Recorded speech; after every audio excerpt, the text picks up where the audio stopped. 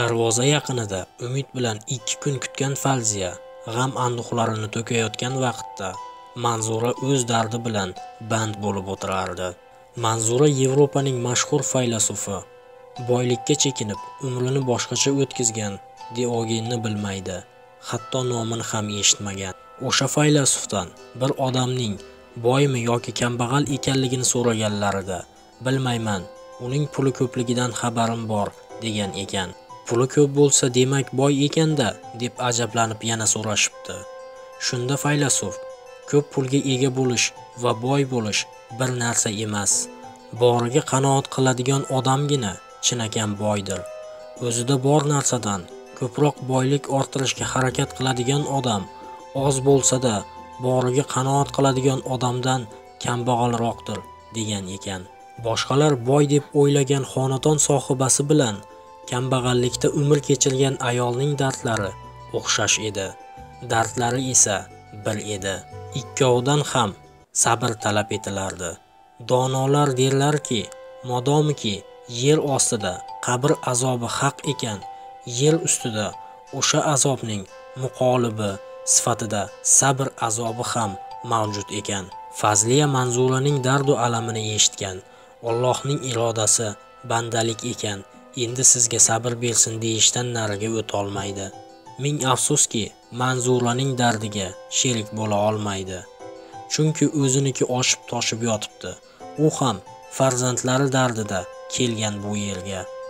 Manzuraning o'g'li qaytmas bo'lib ketgan.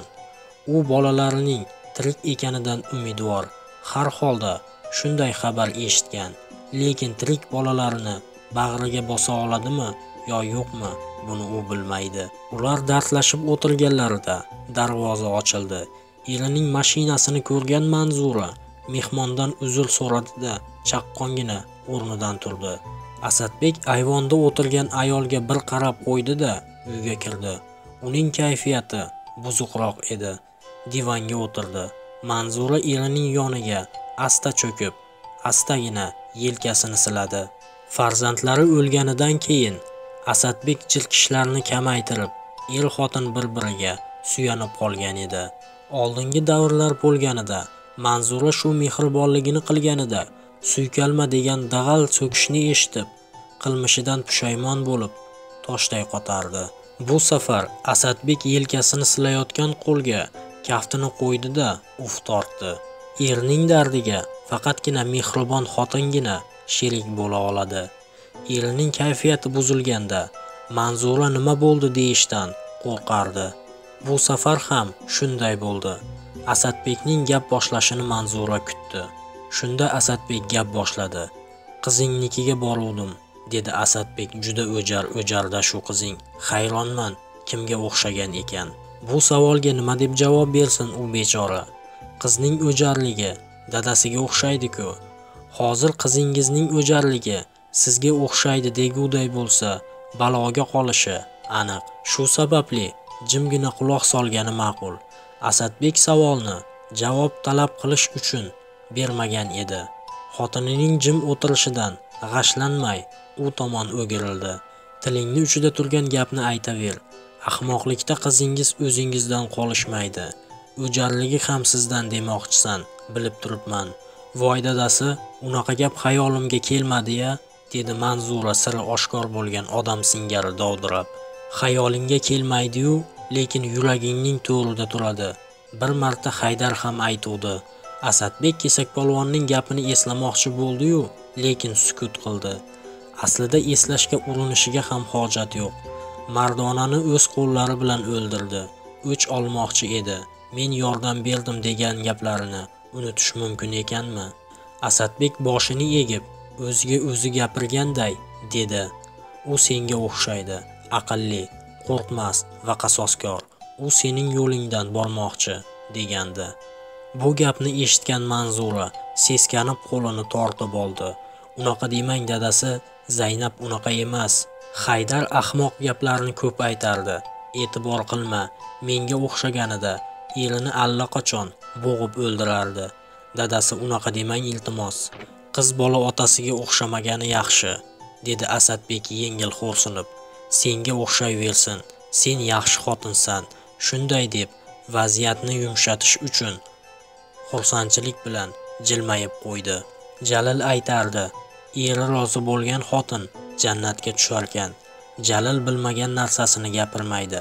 Sen jannatga loyiq xotinsan. Bir marta rahmatli mahmud sizga chidab kelayotgan kelinoyimga order berish kerak devdi manzura sen orderni nima qilasan? Senga jannat naqd bo'lib turibdi. Lekin zaynabga qattiq turmayapsan. Bu aybing ham bor. Qizing ko'chib kelmasa bo'lmaydi. Shuni tushunayapsanmi? Ko'z oldimizda tursa ikkovimiz ham xotirjam yashaymiz. Shuni zaynabga doim aytayapman. Insofga kirib qolar dadasi yana ozgina sabr qilaylik. O'ziga insof kiraru lekin eriga kirmaydi. Ahmoq qizing erining rayiga qaraydi. Eshigingning tagidagi qorovullar g'ashingni keltirmaydimi desam qorovullaringiz kerak emas bizni bo'ri yermidi deydi. Sen qizingning ko'ngliga qarasang qarayver men paysalga solmayman shart yigitlarni yuboraman. Ko'ch ko'ronini ko'tarib kelaverishadi. Kuyovingni esa jiyaninikiga olib borib tashlashadi. Shunday qilsam to'g'ri bo'ladimi? Yalinish va tushuntirish asadbekka xos emas. Uning uslubi aynan shunday. Shart yigitlarini yuborib ko'ch ko'ronini ko'tartirib ko'chirtirib keladi. Buni yaxshi biluvchi manzura to'g'ri bo'lmaydi deya olarmidi? Shu sababdan indamay qo'ya qoldi. Ayvonda kim bilan o'tirganding tanimagan odamni nega uyga boshlab kirding? Mavzuning bu tomonga burilishini kutgani uchun manzura dovdiramadi. Bir bechora xotin najot istab kelibdi. Senga qolsa bu dunyodagi hamma xotinlar bechora. Mening uyim bechoralar najot qidirib keladigan joyga aylanib qoldimi? Dadasi bechora ayol yaqinda qamoqdan chiqibdi. Do'stlar shaytanat asarining bugungi qismi. Bir oz ma'nosiz va sifatsiz chiqdi. Buning uchun sizlardan uzr so'rayman. Tobim yo'qligi uchun matnlarni to'g'ri o'qiy olmadim. Grippning dastidan ovozim ham beo'xshov bo'lib qoldi. Keyingi qismlarni to'g'ri va sifatli ma'noli qilishga va'da beraman. Yana bir bor sizlardan sifatsiz montaj uchun uzr so'rayman. Meni tushunasizlar degan umiddaman.